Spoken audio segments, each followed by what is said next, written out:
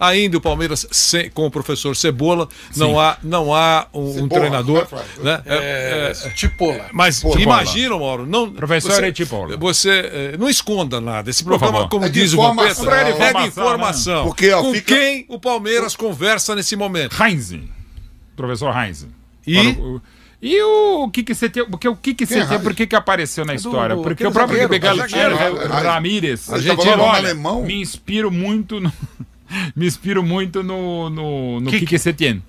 E aí, pô, tá vendo também, ver dinheiro e tal, enfim. O Heinz é um nome que eu já tinha falado aqui do, do meu gosto, não tô dizendo que é algum nome que vai, mas que parece que sim. Agora a informação se fala que o Palmeiras. te- eh, ele diz que não recebeu proposta. Até há poucos minutos atrás a gente recebeu uma outra informação, inclu- inclusive o nosso próprio Pedro Marques também apurando, que ele já teria recebido agora há pouco e estaria fazendo a contraproposta.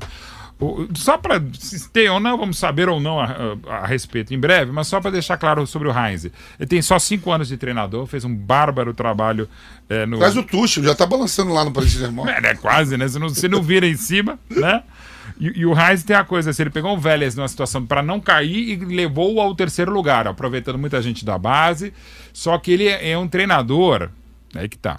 Ele, por contrato, ele meio que exige que ele tenha total controle de vestiário, controle do ves- vestiário mesmo, assim, tipo de vestiário de bedel. Assim, não pode entrar diretor em determinado momento. Apaga a luz. Apaga Tá a faltando luz, é. sabonete. Não, é assim, e, e ele manda pra caramba. Será que vou aceitar no Palmeiras ou no futebol brasileiro? É uma outra história, mas com ideias bastante avançadas, tem a ver com aquele DNA do Palmeiras, pretensamente, enfim, não precisa ir ao ratinho fazer exame de DNA, mas mais ou menos que se imagina, aquilo que a gente já discutiu bastante para não ampliar a discussão.